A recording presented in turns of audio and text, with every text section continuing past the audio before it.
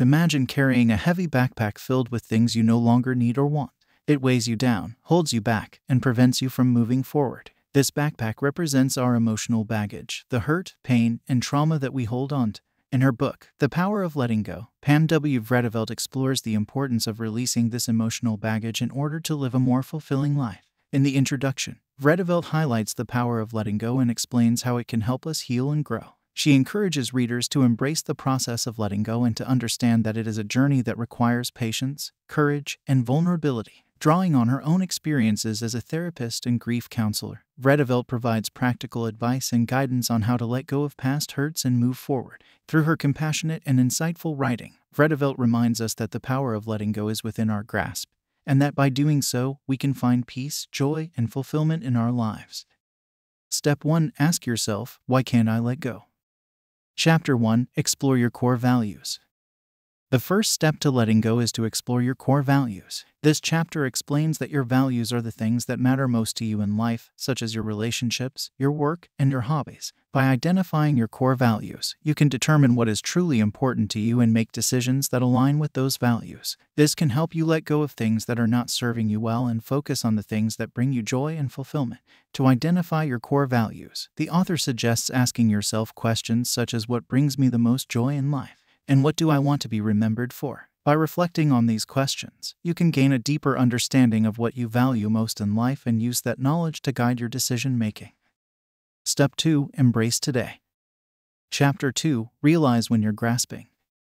In this chapter, the author explains that grasping is the act of holding on too tightly to something that is not serving you well. Grasping can take many forms, such as trying to control a situation or holding onto a relationship that is no longer healthy. The author emphasizes that grasping is a natural human tendency, but it can prevent us from experiencing joy and fulfillment in life. To overcome grasping, the author suggests practicing mindfulness and self awareness. By paying attention to your thoughts and emotions, you can recognize when you are grasping and make a conscious decision to let go. The author also suggests seeking support from friends, family, or a therapist to help you navigate difficult emotions and situations.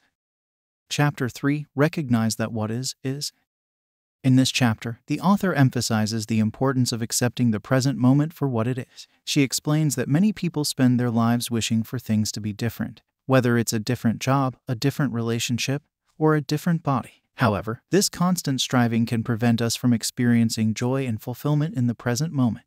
To let go of the desire for things to be different, the author suggests practicing acceptance and gratitude. By focusing on the good things in your life and accepting the things you cannot change, you can find peace and contentment in the present moment. Chapter 4 Review the Facts. In this chapter, the author suggests taking a step back from a difficult situation and reviewing the facts objectively. She explains that our emotions can cloud our judgment and make it difficult to see things clearly. By reviewing the facts, we can gain a more objective perspective and make decisions that are in our best interest. The author suggests writing down the facts of a situation, as well as your emotions and thoughts about the situation. By separating the facts from your emotions and thoughts, you can gain a clearer perspective and make decisions that are more rational and effective. Chapter 5 Remain in the Present. In this chapter, the author emphasizes the importance of staying present in the moment. She explains that many people spend their lives dwelling on the past or worrying about the future, which can prevent them from experiencing joy and fulfillment in the present moment. To stay present, the author suggests practicing mindfulness and focusing on your senses. By paying attention to your surroundings and your bodily sensations, you can stay grounded in the present moment and enjoy the beauty of life. The author also suggests taking time to appreciate the small things in life, such as a beautiful sunset or a delicious meal. By staying present and savoring the moment, you can find joy and fulfillment in everyday life. Step 3 Connect with God. Chapter 6 Relinquish your agenda. In this chapter, the author explains that letting go requires relinquishing control and surrendering to a higher power. She suggests that trying to control every aspect of our lives can lead to stress and anxiety, and can prevent us from experiencing the beauty and joy of life. To relinquish control, the author suggests practicing surrender in faith. By acknowledging that we cannot control everything and surrendering to a higher power, we can find peace and contentment in the present moment. The author also emphasizes the importance of having faith that things will work out for the best even if they don't go according to our plans. Chapter 7 Run to God. In this chapter, the author emphasizes the importance of turning to God for guidance and support. She explains that prayer and meditation can help us connect with a higher power and find peace and comfort in difficult times. The author suggests making time for daily prayer and meditation, even if it's just a few minutes each day. She also suggests reading spiritual texts and seeking guidance from religious leaders or mentors. By cultivating a deeper spiritual connection, we can find strength and support in difficult times. Chapter 8 Register Your Concerns. In this chapter, the author suggests expressing our concerns and emotions in a healthy way. She explains that holding on to negative emotions can prevent us from experiencing joy and fulfillment in life. The author suggests journaling, talking to a trusted friend or therapist, or engaging in creative outlets such as art or music. By expressing our emotions in a healthy way, we can release negative energy and make space for positive emotions. Chapter 9 Relax and Receive.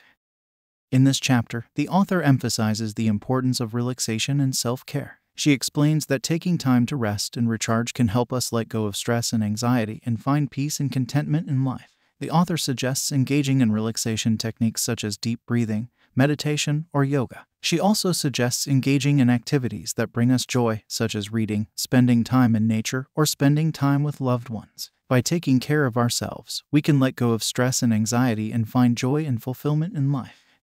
Step 4 Be authentic. Chapter 10 Release Your Feelings.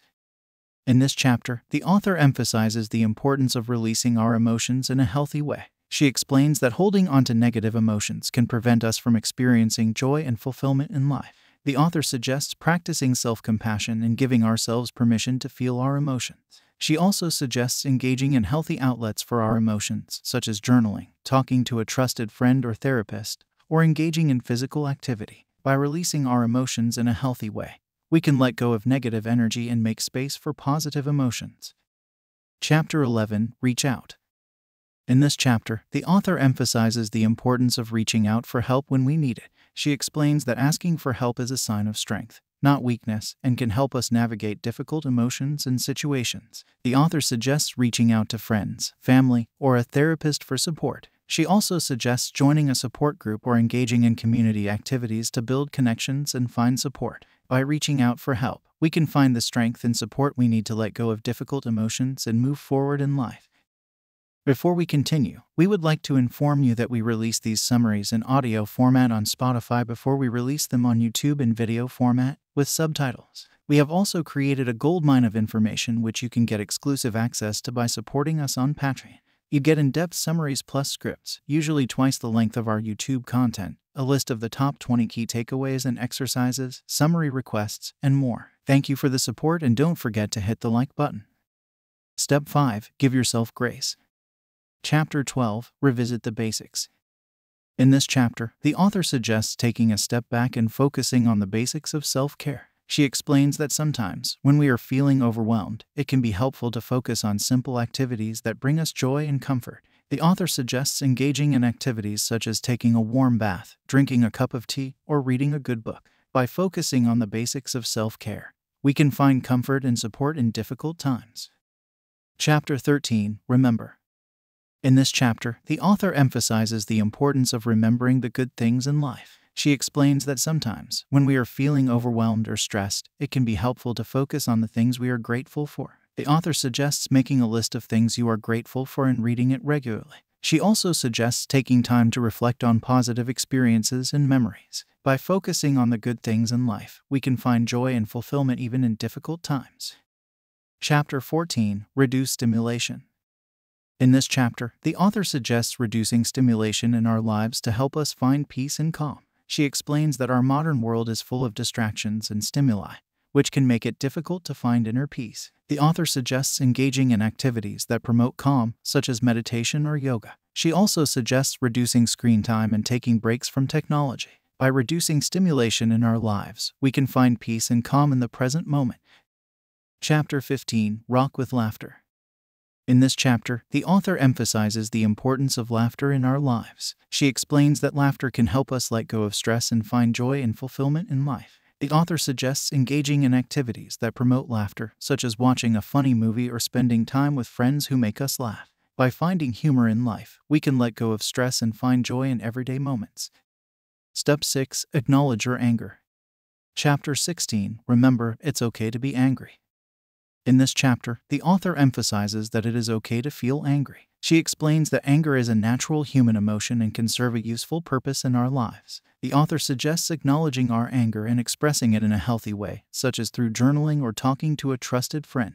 By acknowledging and expressing our anger, we can let go of negative emotions and move forward in a healthy way. Chapter 17 Recognize Your Anger Style.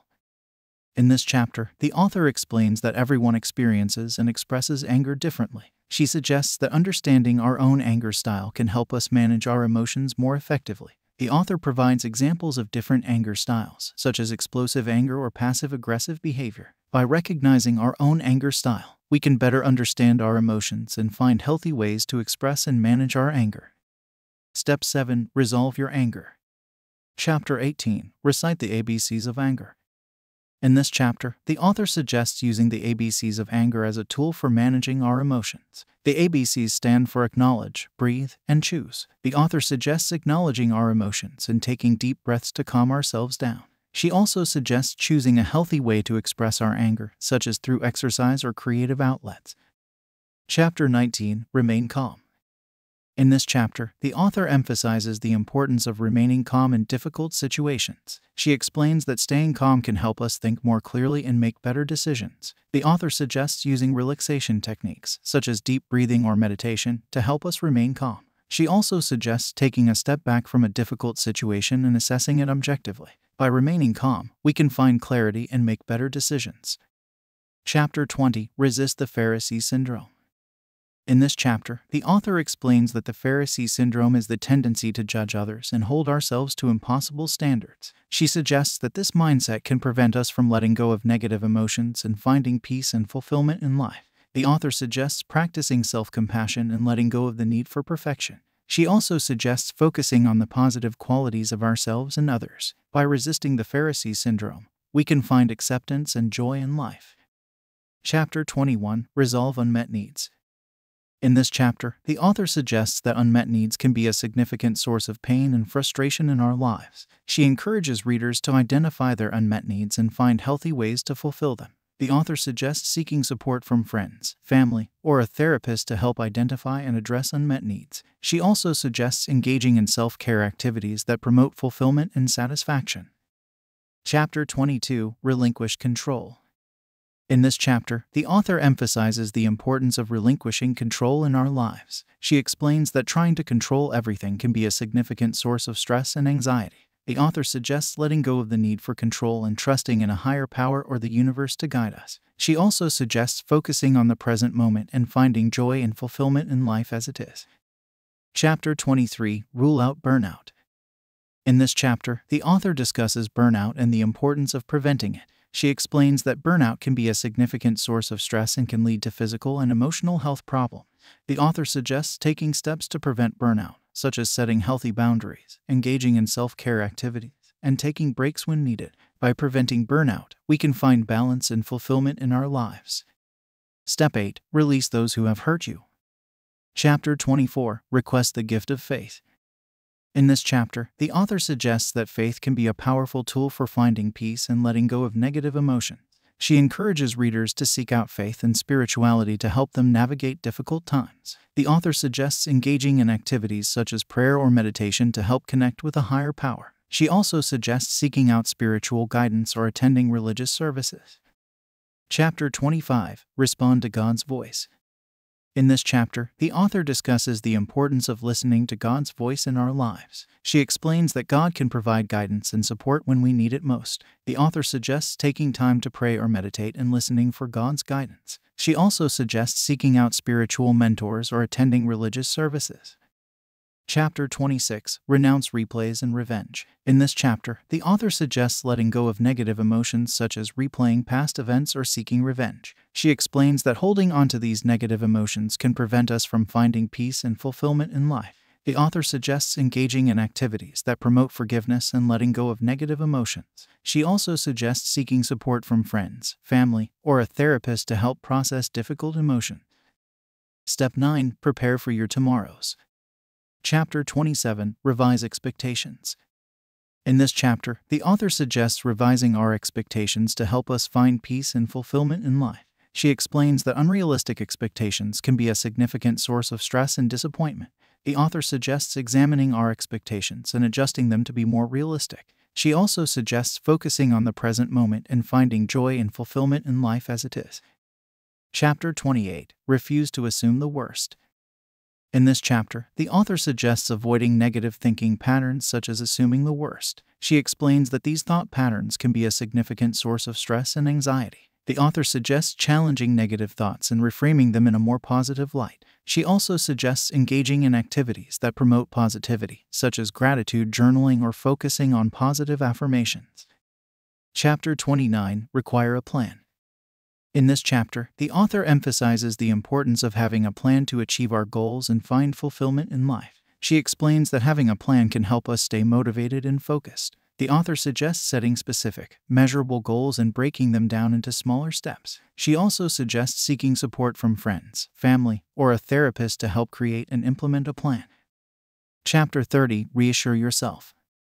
In this chapter, the author suggests the importance of reassuring ourselves and acknowledging our own strengths and accomplishments. She explains that self doubt and negative self talk can be a significant source of stress and anxiety. The author suggests engaging in activities that promote self compassion and self love, such as positive self talk or affirmation.